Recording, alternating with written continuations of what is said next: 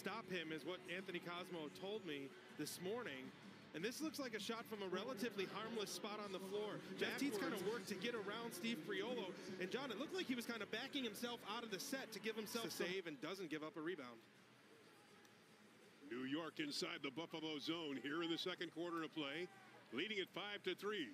Shot score. Far side to the near side and hits a little skip shot. He shoots low to low, and that ball hits the turf right as the Riptide power play goes back to work. This is second quarter action with 9 minutes and 23 seconds remaining. New York with an 8-3 lead over Buffalo. And Jeff Teat working the top. Fourth goal of the game for Fraser. Here is Teat leaving it back out. Now Teat again with a shot. He scores. A dagger there for the Riptide. The first goal they've scored in quite some time, but it's a huge one. A quick give and go, two man game. Teat kicks it behind him.